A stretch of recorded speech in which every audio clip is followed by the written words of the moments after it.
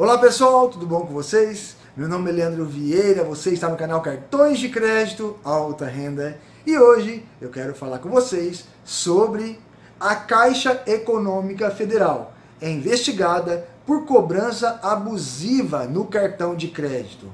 Dentro do quadro, as rapidinhas do Alta Renda. Caixa investigada por cobrança abusiva no cartão de crédito. Secretaria Nacional do Consumidor instaura processo administrativo e intima o banco a apresentar defesa.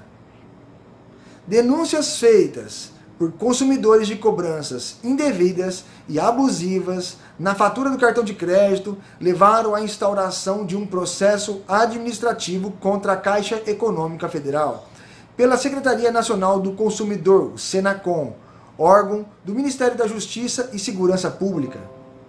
Segundo a Senacom, as queixas registradas no Sistema Nacional de Informação de Defesa do Consumidor, o SINDEC, banco de dados com registros de reclamações feitas em PROCONs pelo Brasil afora, apontam indícios de que os consumidores foram cobrados por valores que não teriam gasto no cartão de crédito, a apuração foi iniciada na última quinta-feira, dia 7, e a abertura do processo publicada nesta segunda-feira no Diário Oficial da União, do a Caixa será intimada a apresentar defesa e em seguida será aberto o prazo para as alegações finais.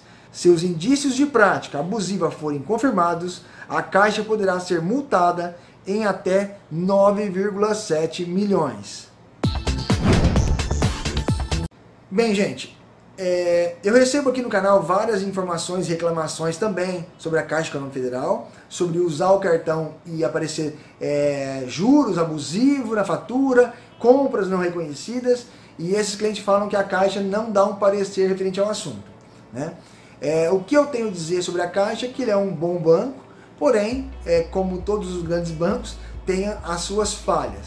E a Caixa, é, caso isso seja verdade, né? A Caixa terá seu prazo para se defender e, e caso não, não consiga é, mostrar é, clareza nas suas, na sua defesa, terá que pagar essa multa aí anunciada, anunciada aí pelo portal Mais Goiás. Né? Se você entrar nos sites aí de reclamação, aparecem muitas pessoas falando este assunto também de reclamação do cartão, taxa abusiva, juros abusivos, né?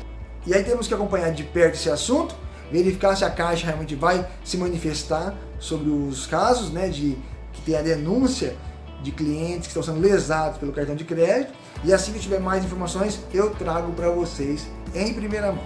Este foi o vídeo de hoje, referente ao quadro As Rapidinhas do Alta Renda. Até o próximo vídeo. Fique com Deus.